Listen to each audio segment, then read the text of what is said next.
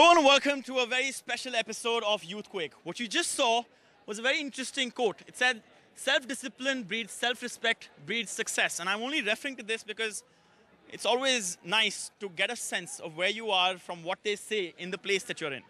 And this is Kirori Mal College in Delhi University. And what we're going to be talking about is something you, you, the people of India, have been listening to, well, perhaps forever. You're perhaps even tired of listening to it. And we are talking about rapes in the country. We are talking about Unnao, we're talking about Kathua, we're talking about the many rapes that are taking place every single day.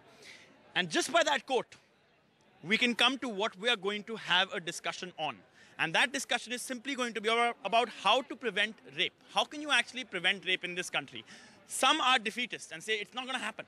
You just can't stop it. But some say the system or we, the people ourselves, have to take the lead. So, how do we bring about self discipline in this country? How do we bring about self respect for not just our own partners, our friends, our sisters, our mothers, but also for the simple aspect of we as men changing pathologically, psychologically, to ensure that there is no rape in a country as beautiful as India. So, we have the Debating Society of Kirori Mal College out here, and uh, we are very uh, happy to have all of you. Thank you so much for being with us and discussing this. On this side are the people, and they say that it is the people who should take the lead when it comes to stopping rape. But on this side is the system that is, the police, the government, anyone who's part of the system, the machinery that runs our country. So let's get started and try to get a sense of how are we going to actually stop these rapes? Who should take the lead? What is going to stop it? Is it going to be the people who have to every time go to Jantar Mantar, protest somewhere or the other in every single city? Or is it going to be our system led by the Prime Minister of our country? Who would like to start? The topic is saying that who should take the lead. Yeah. So I basically think that it's first the people who have to take the lead and then the system will come into action. Uh, the basically what uh, the system will do to educate the people, what the system uh, will do to uh, enact the laws. First, the people have to say we saw the outrage on this uh, Unnao and Kathua rape. Yeah. So then the government was forced to uh, enact this bill that uh, below 12 years of uh, age, if there is a minor girl who is being raped, so the uh, criminal will be hanged. So I think that uh, because if the government gets lethargic, if the government is not acting on itself, it's the people who have to take the lead. No, no, but that's if the government is getting lethargic. If, if the government, I'll come to you. Uh, I want to come to you. Just get a sense of what's going to happen. Um, he says that it's the people who need to take the lead. But do the people have the time? Is my question. Personally, I don't. I mean, I can't go to Jantar Mantar. I can't go around sensitizing other people because I, I've got to make my own living. Uh, according to me, the system should take the lead. The basic reason is people might be sensitized, but there's a single law that can make a difference. Like, even if there are a lot of protests, but is that actually going to make a difference if the government don't actually enact to it? Uh, there's a delay in the prosecution, there's a delay in the procedure, uh, people are not actually heard of, the complaints are not registered. So I think if the system doesn't work properly, people cannot actually help Okay. out. Okay. Whenever you are making a comment about whether it's the system or the people, I would recommend if the system should take the lead, like you said, how will the system take the lead if it has not so far? We all know what you said. But how will that change come about? How will the the the, the petitions, the, the criminal complaints that come into the police get filed and then get heard in court and actually give confidence to women to go to court, to go to police and actually file a case? How will that change?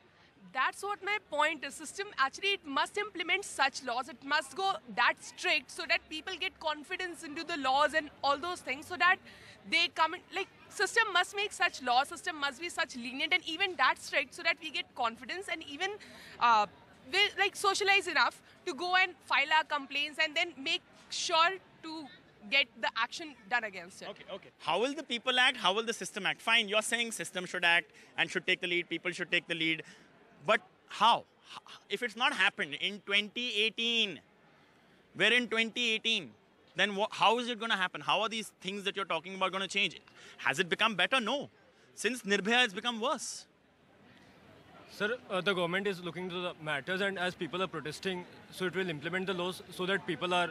You're suggesting you're suggesting both combined. The, the police and the system come. The, the, the people protest, and the system continues to try and improve its, its behavior. You're saying both. You're now you're now switching your own side. Yeah. I want to say that, as you said, since Nirbhaya it has been worse. I want to say no, it hasn't been worse. Where do we get the data from? We get the data from the FIRs registered in the police stations. So as far as more and more FIRs are registered, people are getting more aware, and the system is supporting them. So hence, in this way, system is working against it. Okay. However, however, you're also hearing of just to explain to our viewers what you're saying is that because there are more cases being filed that doesn't mean the system has failed more. It's actually improved because it's giving confidence to women to actually go ahead and report the cases. I get what you're saying. But the point out here is that at the end of the day there is no measure that even at that time those cases were not being reported. It was still the 21st century. But still, the things are getting better day by day, and we cannot But how are they getting better? Unnao Kathua, the number of rapes that have taken place in just the last one month. Are How, how do they? They are just a few examples of that. No, there are examples like this every day. Yes, it's just that it's because That's it's because I'm saying that I get I'm a daughter of a policeman and as I get to hear these kind of cases every day my father used to file these type of complaints every day and this is no more a big deal right now to me because I see these kind of cases every day and now in Kathua just a few cases which are got highlighted and you're debating over that yeah, but it's normalized for you because you've heard of it. Yes, It's like it's it's a thing that happens, and that is exactly. That is exactly it is getting changed day by day and people are police is taking their Is cases changing? to the yes, One sec, I just want to take an opinion poll out here.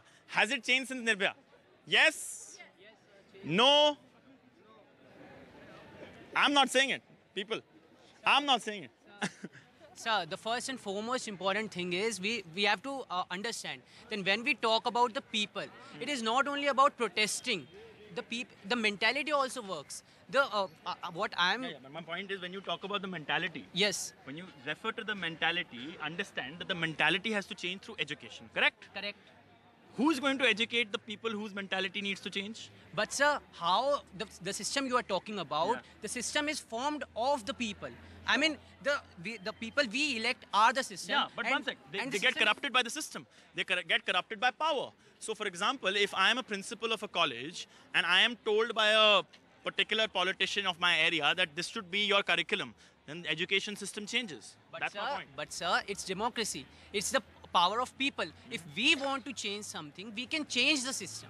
And that is why I am saying that the lead is with the people. I'm not saying that government has no role in it. The government has a role. Who doesn't agree? Who doesn't agree with that? Okay, you got a comment. Go ahead. Sir, it is true that looking at the past events, we have seen that uh, there is no point in changing the mentality or educating the people. No point. Yeah, because Sun lo, he's saying there's no point in changing the mentality of the people. Sir, because you cannot change the mentality of 1.25 billion people now, Okay. and you cannot educate each of them. The point is that we have to make stricter laws and enforce them in, in a Okay, timely What manner. is stricter than death?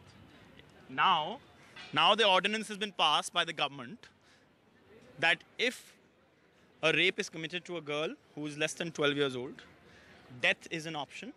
Killing somebody for a crime they committed, a solution. Will people stop raping people because you say, okay, if you're raping somebody who is less than 12 years old, then you will be killed for it? But then, Yeah. like, uh, for like, if you have death penalty as a very strict law, Yeah. then there's a fear that goes around. Like, then like it actually stops the criminal before uh, starting a crime. He knows that if he's going to be penalized by death, of course he'll think twice before committing that crime.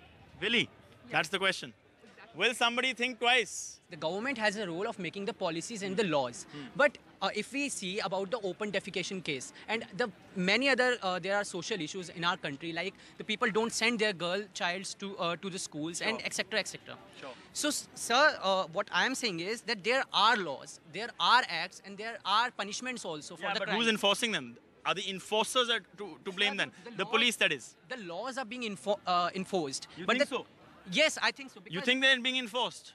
uh, obviously Okay, one sec. Then how did Unnao happen? How did Kathua happen? Sir, that's what I'm talking about. It's the mentality of the people. It's the people us that that we are unable to form an environment that stops that people mentally and socially. Okay. But there are there are laws. So okay, let me give you an example of what you're saying. You guys have heard of Asaram Bapu, right? Now he's been convicted. He's been convicted of rape. And in this situation, he is somebody who's thought of as a man of power, who can influence millions of people and influences millions of people. a religious leader, spiritual leader. Okay, and not just him, Gurmeet Ram Rahim, similar situation.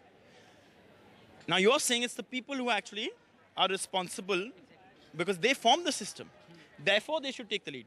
But when you have people like that in a spiritual country like India, in power, based on their spirituality, influencing the thought process of every individual, acting like this secretly, where is the confidence in the people in the system either? So you yourself talked Yeah. about you yourself talked about that people followed him. Yeah. So if people weren't following him, if because after what happened, the, many of his following has stopped.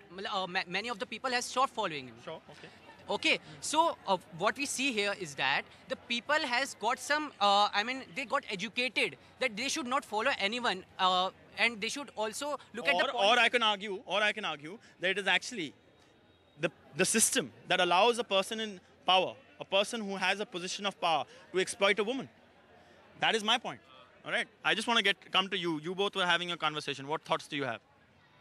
Um, I think कि uh, लोगों को मतलब अपनी खुद की mentality change करनी चाहिए in the sense कि उन्हें घर से ये चीज़ हमारी शुरू होती है कि डोमिनेंस की गर्ल ये काम करेगी एंड बॉय ये करेगा इस चीज़ को हमें शायद चेंज करनी चाहिए तो ये कैसे होगा ये पेरेंट्स आई थिंक उन्हें इस चीज़ का रिस्पॉन्सिबिलिटी uh, लेनी चाहिए okay. कि उन्हें एजुकेट करना चाहिए कि नहीं दोनों को दोनों की रिस्पॉन्सिबिलिटी है और दोनों बराबरी से काम करेंगे Okay.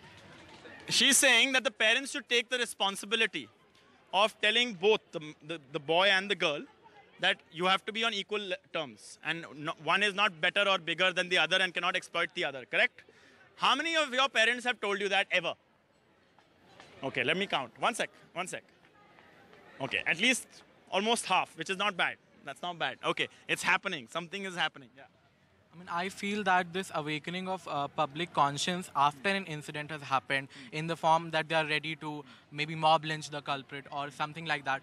It's not, I mean, uh, there's no point of it. It should uh, be before that incident. It should be a wave of uh, action and a wave in, uh, of change in the thought process. And as she said, that should, uh, that should, saying that that thought process should be from the people. That yeah, that should flow from the people and that should be continuous and not uh, uh, just after incident. Yeah, but how does that happen? Uh, do you blame the media? I'm happy to be blamed. I mean, do you blame the media that the media is only waking up when Unnao and Kathua happen? But, but yeah, sure, fine. I agree. I, I, I completely agree with that. But the point out here is that the awakening comes from a social conversation driven, perhaps, let's say, by example, from social media. And social media involves the people. And they also only wake up when something happens, correct? Yeah. as she said that the family is the basic social unit we have and every family has one or the other female in the form of a mother or a daughter who has been a sufferer of this uh, uh, patriarchy in india and uh, since she has the experience she should uh, forward it to the male uh, people in the family and should that what kind of sufferings women go through maybe that will bring about a change in the mentality of the men in the family